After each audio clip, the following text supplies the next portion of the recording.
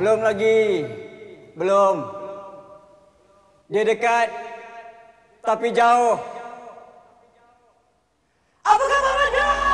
Surah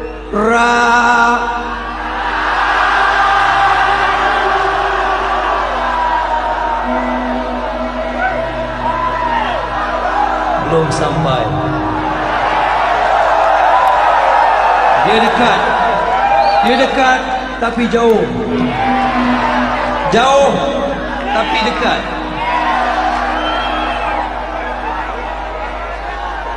Surah